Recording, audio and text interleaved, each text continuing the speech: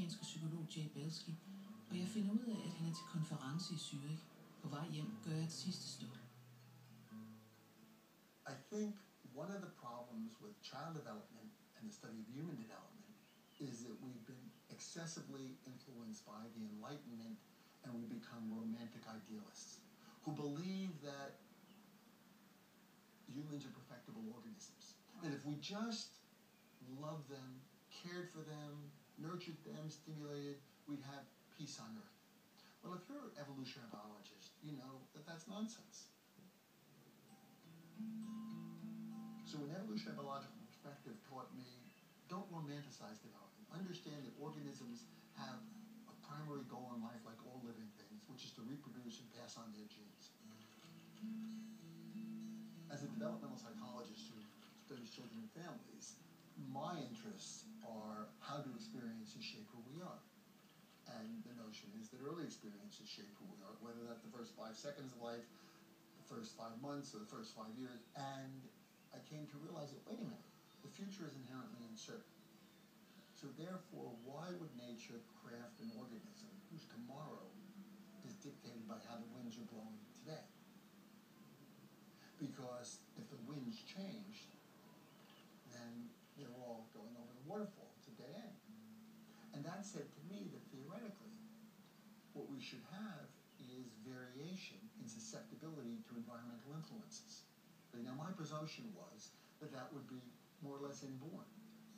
My close friends are Professors Avshalom Caspi and Henry Moffitt. And before their now classic paper on gene-environment interaction came out, I saw the figure. And that figure, that graph they had, showed that with a certain genotype, if you were maltreated, you were more likely to be antisocial.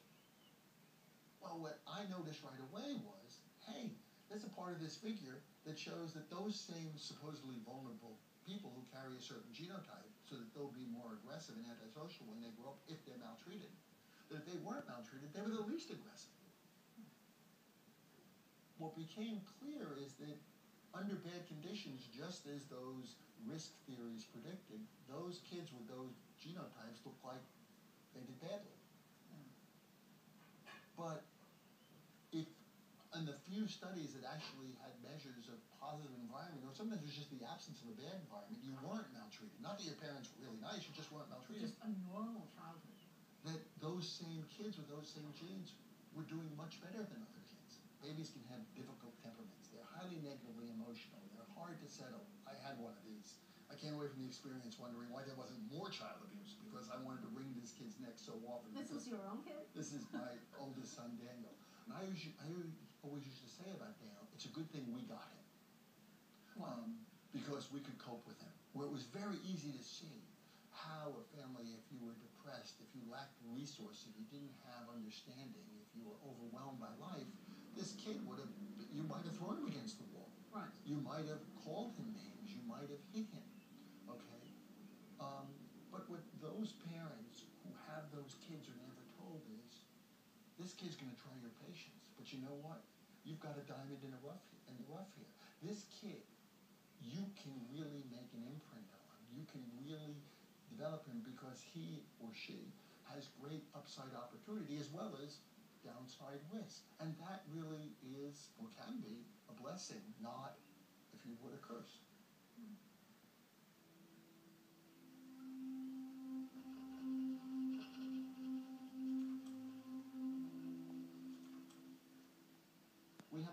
Concept, not only risk, but resilience. Right. That you and I both grew up in divorced homes. Right. I become a basket case because I have risk characteristics, my genes, my physiology, whatever. Yeah. You, I triumph. you no, you don't triumph. You just sort of, it's wherever ducks back. It doesn't matter. Right. You're who you're going to be almost no matter what. Yeah. Robustness. Right. So it looks like I'm vulnerable, and you're what we would call resilient. You did not succumb.